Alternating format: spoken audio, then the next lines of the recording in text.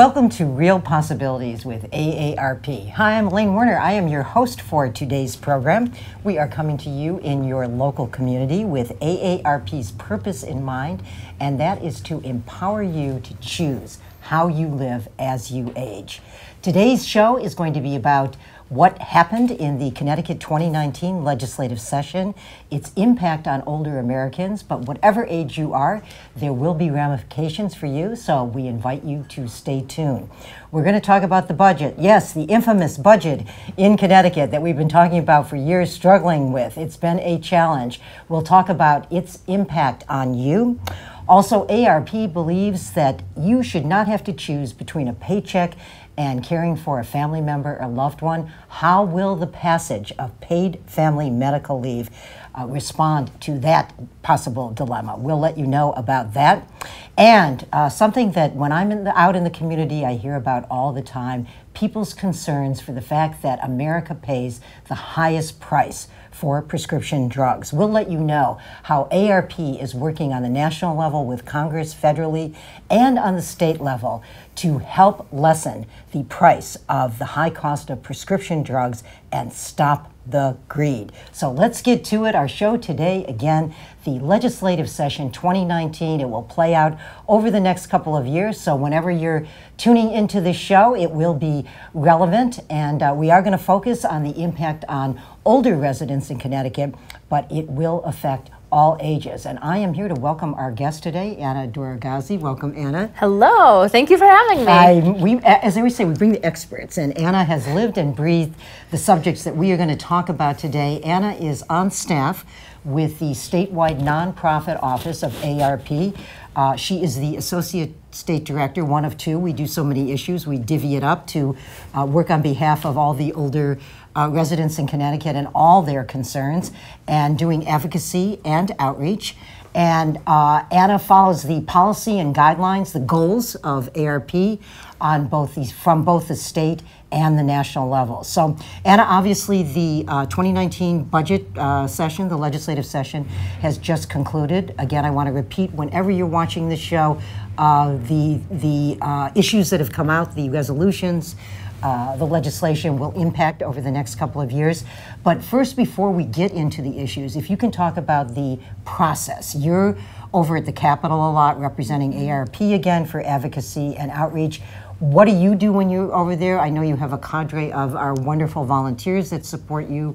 So your role and their role, what happens over at over at uh, across the street from the ARP office at the Capitol? Sure, all kinds of things happen across the street from the ARP office. Um, so just a kind of quick overview of mm -hmm. what the session looks like, how it works. Um, you mentioned that we recently passed a budget here in Connecticut. Um, Connecticut has um, a biannual budget, so every other year, um, odd numbered years, the session is a little bit longer. It runs from January to June. And during those odd numbered years, the legislature, um, in conjunction with the governor's office, develops a budget to mm -hmm. cover the two year period. Um, so that during those budget years, that takes up a lot of the attention and the energy of the legislature. I, mean, I think we have a $43 billion mm. budget. Um, so it's it's a lot. There's mm. a mm-hmm. lot uh, that goes into it. A lot of attention that that needs to to be paid to that. Um, so the beginning of the legislative session is when we see uh, legislators putting out their ideas for the session. Um, when they're saying, you know, my constituents have a lot of concerns about this issue.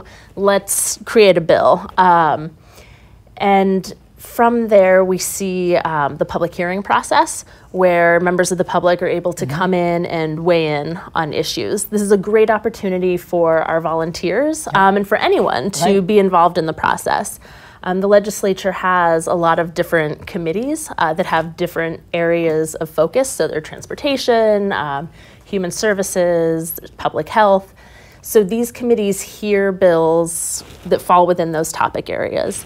Um, and something that is important to me in my role with AARP Connecticut is to bring in our advocacy volunteers. Mm -hmm. um, and to bring in, honestly, anyone who has something to say on these issues, to come before these public hearings and to say, this is how this issue has impacted me, it's how it's impacted my life, my family's life, and this is why you, as our elected officials, should act one way or another.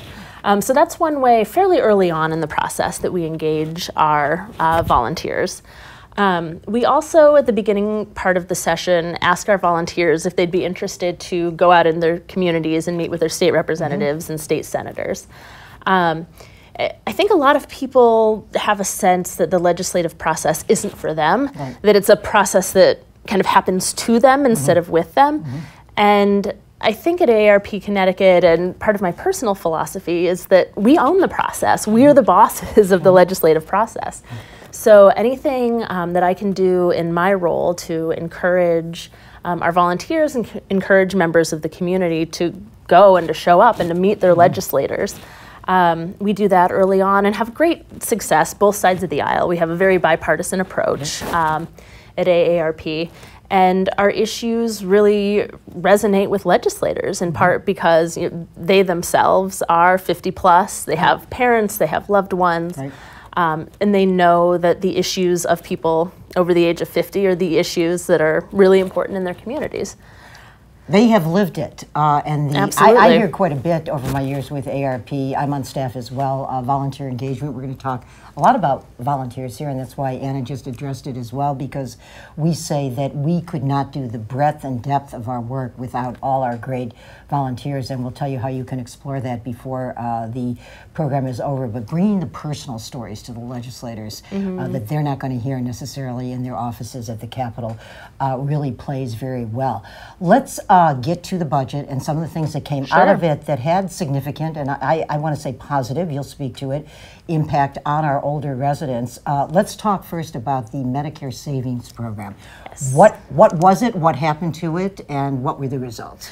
Well, and this is a perfect segue from what we were just talking mm. about, about having ownership over the legislative process mm-hmm. and the mm-hmm. importance of people talking about their experiences.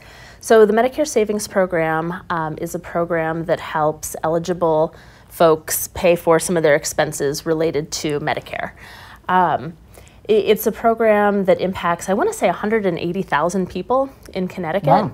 Um, so, a very popular program, yeah. um, a program that helps um, especially older folks on fixed incomes who need to pay for some of their healthcare expenses through Medicare.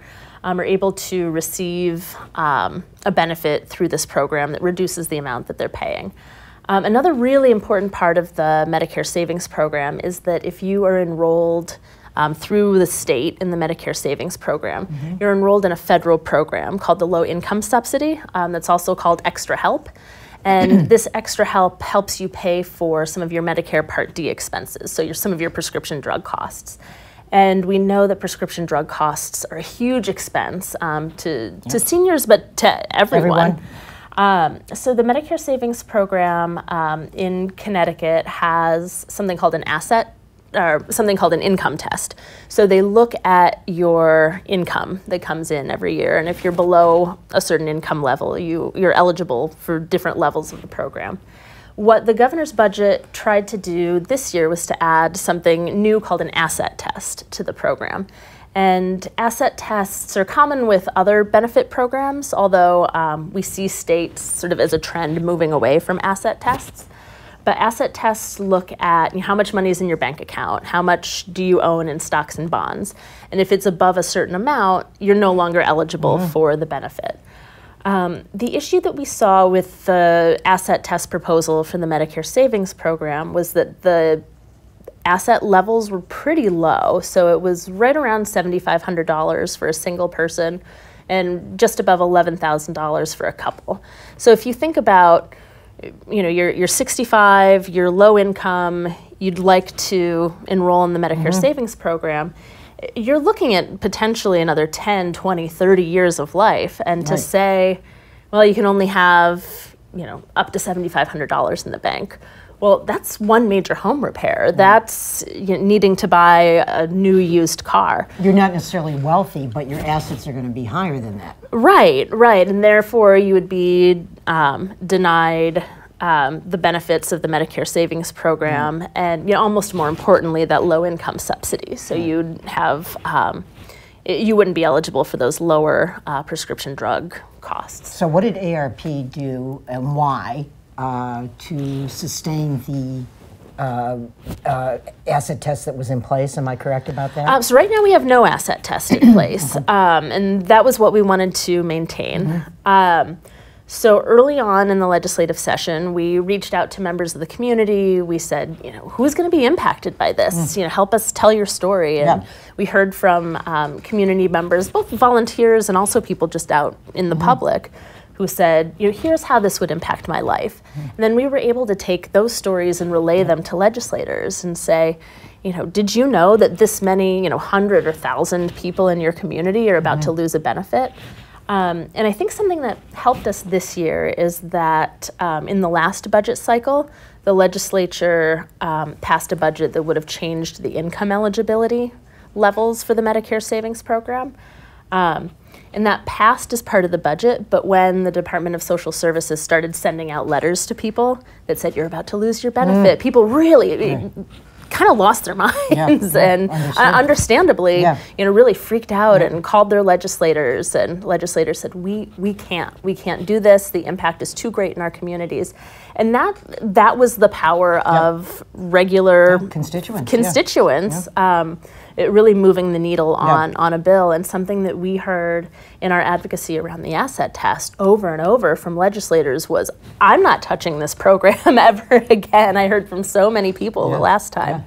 Um, so that really played in our favor but you know again it mattered that people showed up and talked about the issue. So, bottom line, succinctly, the results of uh, our advocacy. Uh, no asset test. All right, yeah good. they, they took it out of the budget and um, we'll move forward as before so, no, no 100 changes 180,000 people should be uh, very happy with that. They and should be, others, yes. Mm-hmm. Others coming on board. So, uh, really good advocacy work there. Retirement income, uh, my knowledge that something positive uh, or maintained itself favorably. Yes. If you can briefly speak to that. Sure. Um, so, um, again, couple budgets ago, um, we saw the legislature decided to exempt retirement income from uh, income taxes, so Social Security, pensions, annuities. And this was in, an incredibly popular move and something that legislators, um, you know, in the last election cycle in 2018 really campaigned on in their communities. They said, you know, you're not going to have to pay income tax on your Social Security or your pension income anymore. And constituents said, great, I love that. Um, and they got a good response in the community. But then when the governor's budget came out, um, there was a proposal to repeal that exemption.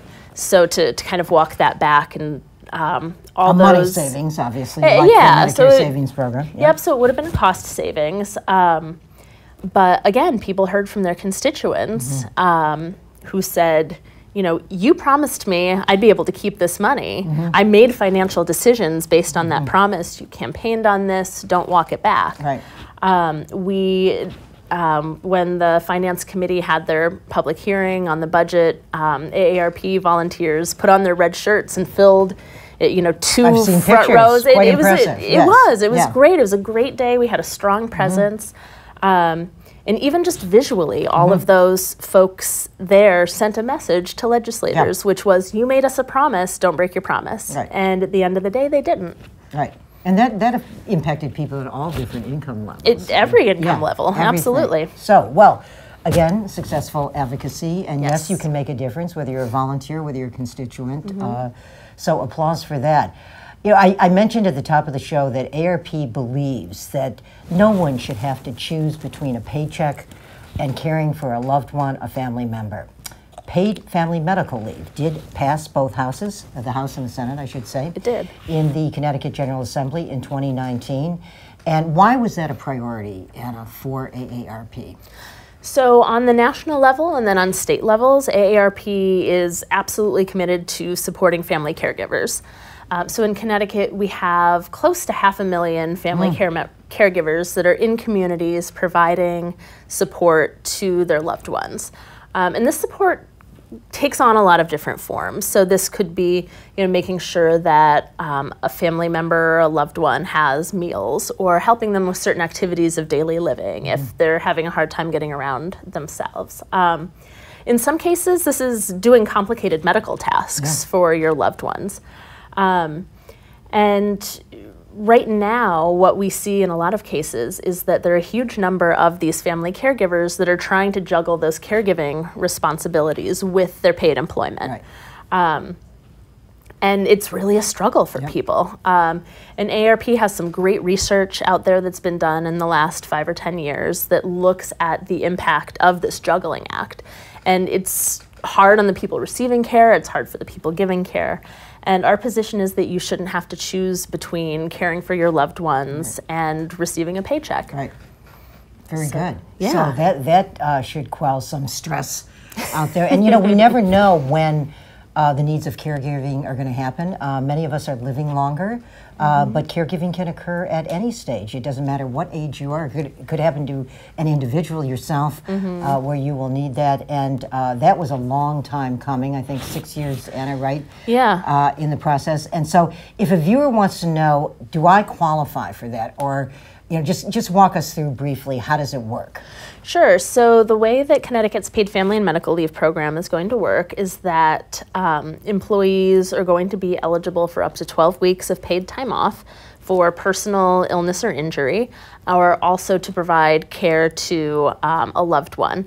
And um, I'm going to focus mostly on kind of that caregiving Right, because it does apply to newborns too. and- Yeah, and you worked in absolutely. Which, right? yeah, and there's there's a lot of great data and Yeah. statistics around you know why it's important for young Right, mothers to be right. home with their children And young fathers, um, and young fathers yeah, as well. Um, but from the caregiving angle, um, you need to demonstrate that you have a relationship that's. Um, you know, a family relationship or a relationship that's like a family relationship. Um, and you, So, if I may just ask you Sure. this, so what if somebody is, uh, you know, living with somebody as a domestic partner, say? That would Uh, be would covered. that- okay. Yeah, and it, uh, this is actually a, an important piece of the bill. Um, we know that families look a lot different now than Right. they did a generation ago. Very much so, yeah. Um, and people, you know, might not live uh, near their biological family, or they might have never married but have a domestic partner, or they might have a friend who lives next door that is like a that's a chosen family member. Right. So this is really important um, for everyone, in particular the LGBT community, um, in particular folks who um, don't live near family members. But if you can demonstrate that you have, you know, this very close relationship, and this is something that this that's going to be administered as part of the program. It's not just. You know, oh hey, the guy across the street doesn't feel good. I'm gonna take 12 Right. weeks off of Right. work. You know, th- there really is a process for proving um, this caregiving relationship. And when, when does all this become effective?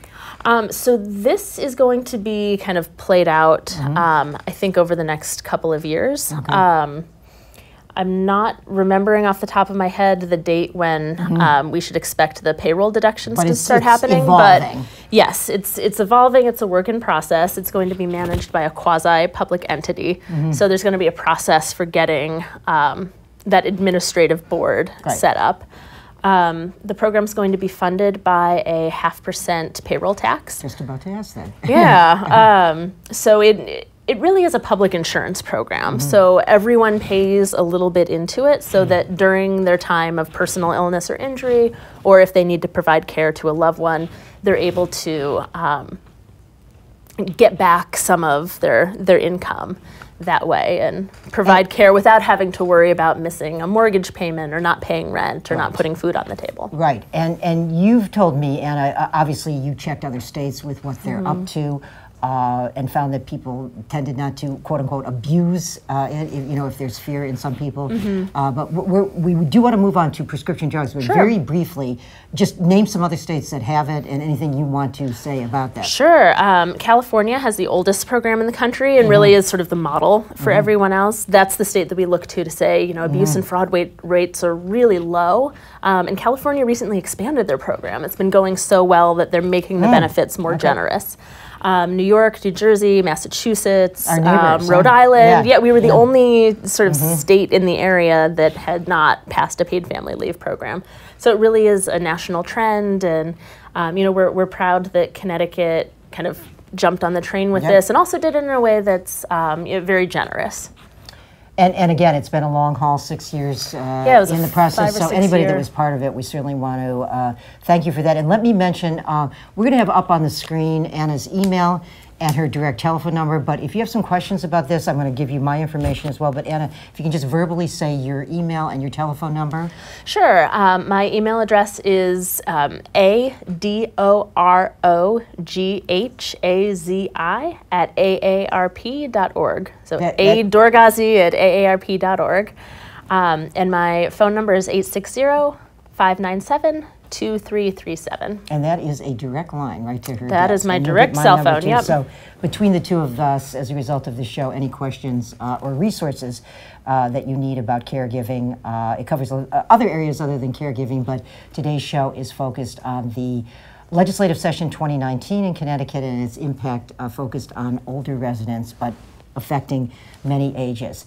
Anna, when I'm out and about in the community, uh, there is an issue that seems to resonate seeming to me almost with everybody, and that is the fact that Americans pay the highest cost for prescription drugs in the country. Uh, other than obvious reasons, why is this a priority issue for AARP? It- This is uh, honestly a life or death issue. It's an issue, you, I know you mentioned you hear from people in c- the community all the time. It's an issue that um, as soon as we started to get involved with it this legislative session, um, I got emails, I got phone calls, I had people stopping me in the LOB to talk about it. It's an issue that really resonates with people because uh, either personally or you know, within their, the context of their friends or family or community, it, we've all seen people struggle with the high cost of prescription medication. Um, for older residents in particular, um, we know that in the US, seniors take an average of 4.5 different prescription medications on a monthly basis, and the cost of these can really add up. Um, and other countries have kind of cracked this nut. We see lower drug prices across the world, and the United States continues to pay the highest prescription drug prices in the world, and it's it's a life or death issue for people. Absolutely. And so uh, we're going to talk about this distinction between federal and state, but what are some of the solutions? Uh, should we talk federally first, what we're doing? Yeah, we, we can talk federally. Um, so I think one of the issues that we see on the federal level is that um, big sort of buyers of prescription medication like Medicare Yeah. um, aren't able to negotiate for lower drug prices. Yes, folks, Medicare is not able to negotiate that And- yet. and, and when Medicare Part D, the prescription drug program, was created, um, the pharmaceutical industry lobbied really, really hard to make sure that um, they had the right to set these drug prices. And they're setting them at levels that aren't working for people. Um, and if you look at other government entities that are able to negotiate prices, the Veterans Administration is a great example. Yep. Um, their prices are 80% lower than what Medicare is paying for prescription medication. So imagine if Medicare had that same bargaining pro- bargaining power, we would see prices go way down, and we would see fewer people struggling to keep up with the cost. Um, some of the issues um, that we're seeing sort of as national trends, but that are um, being addressed in individual state legislatures, um, are um, importation, which I'll Yep. love to talk about more in just a minute. we Um, could do a whole show on that one. we I could. I. I we don't have time today, but if you could touch on it, yeah. Um, and um, there's a process called pay for delay that some states are starting to look at that we kind of briefly looked at during this legislative session in Connecticut. Um, just just define that vote very briefly in case somebody's wondering what yeah, that means. so so pay for delay is a, a tactic that the pharmaceutical industry uses to maintain a monopoly on their medication. Mm-hmm. So um, most prescription drugs, you have a 20 year um, patent basically on the medication. Um, and after 20 years, those generics are able to start to enter the market. But what some pharmaceutical companies will do is they'll pay their generic competitor to keep those cheaper generics off the market. So it's basically saying, you know, I know you have a cheaper solution, Elaine, but you know, Mm-hmm. here's a bunch of money. You're getting paid. I'm getting paid. The consumer is paying us So it's a win. higher It's, it's a win-win, not a win-win-win. It's a win for It's the a win-win-lose, yeah. It's a win for the generics, but not necessarily for the consumer. Again, it goes so fast, so much to talk about. Just very briefly, what's happening in the state of Connecticut as far as helping to lower the cost of prescription drugs? we came this close Mm. to allowing Canadian drugs to be imported into Connecticut. Um, it, Canada pays much lower drug prices. Um, some commonly used drugs are as much as a tenth of the cost in Canada mm-hmm. as they are here in the US. Um, we had a bill um, that would have uh, basically set up a mechanism for these Canadian drugs to be safely mm. imported mm. into the state. Um, it passed the House, great bipartisan support. Mm. Um, we had bipartisan support in the Senate, and the the clock just ran out. Um, you know, we were hoping for a vote that last day of session, and um, there were there were enough objections from just one or two state senators um, that kind of the politics got in the way and the clock ran out and we're hoping to see this issue get taken up you know either in this special session or definitely next year it's it's too important to well, to let it go to away. be continued, Absolutely. right? For sure. Uh, ARP, AARP advocacy won't give up on that. We just no, we talked won't. about that with paid family medical leave, and we saw what happened there. Uh, we've just got a minute to go, Anna. Special session. What's the special session? What could happen? Sure. So, special session is basically an opportunity for the legislature to come back and finish any unfinished business. Mm-hmm. Um, Governor Lamont has already said, you know, I expect to see you all back here in a couple weeks mm-hmm. to deal with transportation and tolls. Mm-hmm. So we know that um, transportation funding and tolling are going to be on the table for this special session. We're hearing rumblings that maybe also we'll talk about Canadian drugs, mm. but uh, that is to be determined. Well, stay tuned. Stay tuned right here, too, on your local public access station. Uh, the I want to thank Anna. Thanks for being here. I, Thanks uh, for having me. You know, we both live and breathe this. You more than I do on the issues because you're back and forth to the legislative office building in the Capitol. But I always learn more when I, I hear from you. So I hope that was true with you as well as a viewer. The subject of the program today, the Connecticut Legislative Session 2019, how it impacts on older residents of Connecticut, but everyone, quite frankly. So we've got a budget in place, but that goes on for a couple of years and evolving legislation. If this has sparked your interest, paid family medical leave, the high cost of prescription drugs, what's happening with the Connecticut budget, topics we haven't even covered. Uh, consumer issues, the high cost of utilities. Uh, obviously, there's a presidential year coming up mm-hmm. next year. We always work in a nonpartisan, issue oriented way. So if you're interested in knowing more about any of these topics, and or you're interested in hearing about volunteerism with ARP, you can call me. I'm the program specialist for volunteer engagement with AARP Connecticut, Elaine Werner, 860-548-3169. If you're a member of ARP, 600,000 strong in the state, we want to thank you for that. We hope we've empowered you to choose how you live as you age. That is the purpose of ARP.